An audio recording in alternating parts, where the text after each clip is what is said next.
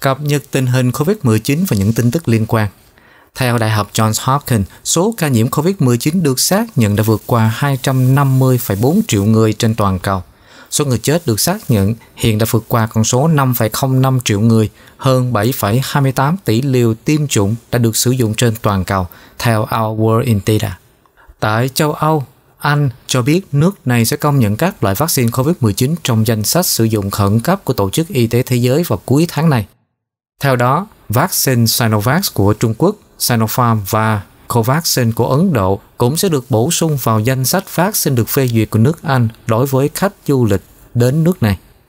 Những thay đổi có hiệu lực từ ngày 22 tháng 11 sẽ mang lại lợi ích cho những người được tiêm chủng đầy đủ từ các quốc gia bao gồm các tiểu vương quốc Ả Rập Thống Nhất, Malaysia và Ấn Độ. Tại Đan Mạch, trong bối cảnh nước này đang bước vào làn sóng dịch thứ ba, chính phủ nước này đã đề xuất việc yêu cầu người dân xuất trình thẻ corona kỹ thuật số khi tới các quán bar và nhà hàng trong nhà. Yêu cầu này cũng sẽ được áp dụng tại các nơi như là rạp chiếu phim và viện bảo tàng. Tuy nhiên, quy định này vẫn cần sự thông qua của Quốc hội. Đan Mạch là một trong số quốc gia dỡ bỏ hầu hết các hạn chế còn lại vào tháng 9 sau khi đã tránh được đợt lây nhiễm thứ ba trong mùa xuân và mùa hè, do các biện pháp ngăn chặn rộng rãi được áp dụng kể từ Giáng sinh.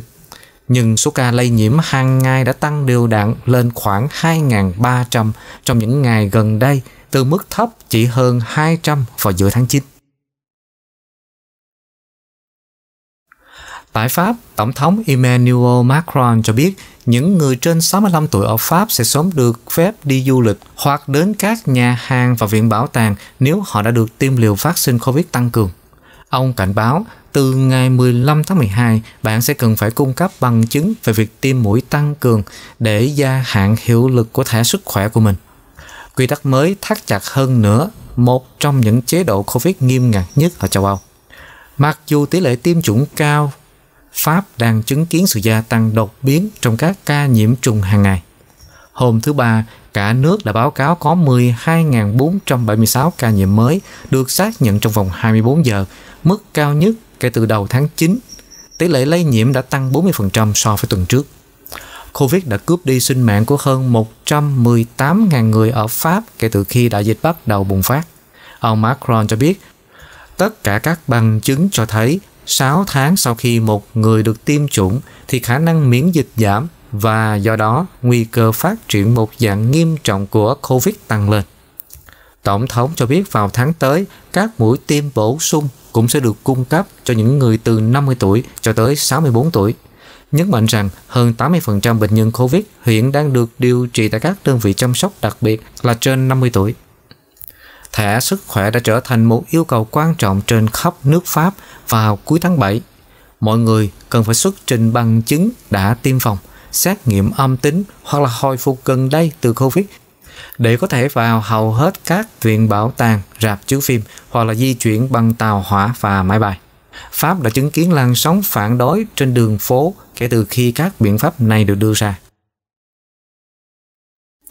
Tại khu vực châu Á-Thái Bình Dương, Tại New Zealand, hàng ngàn người xuống đường phản đối các quy tắc COVID-19. New Zealand đã tăng cường các biện pháp an ninh tại tòa nhà quốc hội vào hôm thứ Ba khi hàng ngàn người tụ tập để phản đối các quy định về quy tắc COVID-19 và lệnh cấm của chính phủ nhằm kiểm soát đại dịch. Hầu hết những người biểu tình không đeo khẩu trang đã diễu hành qua trung tâm Wellington và tập trung bên ngoài quốc hội.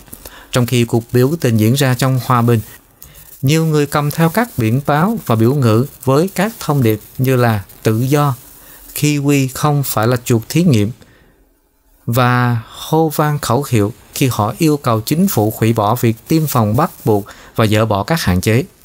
Các tấm biển thể hiện sự ủng hộ đối với cựu tổng thống Mỹ Donald Trump và đánh đồng giới truyền thông là giả tạo và nói dối cũng được hiển thị. New Zealand đã phải vật lộn để chống lại đợt bùng phát có khả năng lây nhiễm cao của biến thể Delta trong năm nay. Buộc Thủ tướng Jacinda Ardern phải chuyển từ chiến lược loại bỏ hoàn toàn coronavirus sang sống chung với virus bằng cách tiêm chủng nhiều hơn. Tuy nhiên, Thủ tướng đã phải đối mặt với các áp lực chính trị ngày càng tăng và các cuộc biểu tình của công chúng để giảm bớt các biện pháp chống lại dịch trước kỳ nghỉ lễ Giáng sinh. New Zealand vẫn là quốc gia có số ca nhiễm COVID-19 thấp nhất trên thế giới với dưới 8.000 trường hợp được báo cáo cho tới nay và 32 trường hợp tử vong. Quốc gia này đã báo cáo 125 trường hợp mới vào hôm thứ Ba và tổng tỷ lệ tiêm vaccine hai liều đã đạt tới 80% dân số đủ điều kiện. Tại Úc, bang New South Wales cho biết trong một thông báo, những người không được tiêm phòng có nguy cơ phải đưa vào phòng chăm sóc đặc biệt hoặc là tử vong do COVID-19 cao gấp 16 lần. Các quan chức đã kêu gọi mọi người tiêm phòng khi đất nước này đang cố gắng sống chung với COVID-19. Dữ liệu từ Bộ Y tế của bang cho thấy trong 412 người chết do nhiễm COVID-19 trong thời gian 4 tháng đến đầu tháng 10 chỉ có 11% đã được tiêm chủng đầy đủ. Tuổi trung bình của những người chết đó là 82. Chỉ có khoảng 3% số người trong các đơn vị chăm sóc đặc biệt là được tiêm chủng hai liều, trong khi hơn 63% trong số 61.800 trường hợp được phát hiện từ ngày 16 tháng 6 tới ngày 7 tháng 10 là không được tiêm chủng. Trong một diễn biến khác, cơ quan quản lý y tế của Úc cho biết loại cocktail kháng thể của AstraZeneca chống lại COVID-19 đã nhận được giấy đăng ký đầu tiên ở quốc gia này. Cơ quan quản lý hàng hóa trị liệu cho biết họ đã cấp quyết định tạm thời cho nhà sản xuất thuốc Anh Thụy Điển vào tuần trước đối với loại cocktail kháng thể Evosil, lưu thuốc bảo vệ đầu tiên ngoài các vaccine chống lại COVID-19.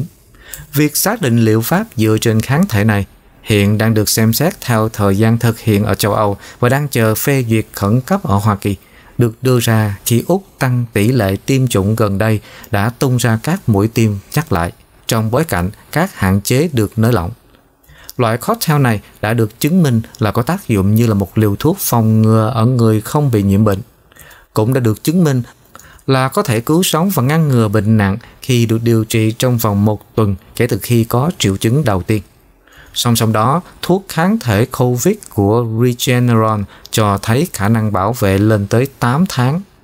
Regeneron Pharmaceutical cho biết hôm thứ Hai, một liều cocktail kháng thể duy nhất của họ đã giúp giảm 81,6% nguy cơ COVID-19 trong một thử nghiệm giai đoạn cuối, trong khoảng thời gian từ 2 tới 8 tháng sau khi sử dụng thuốc.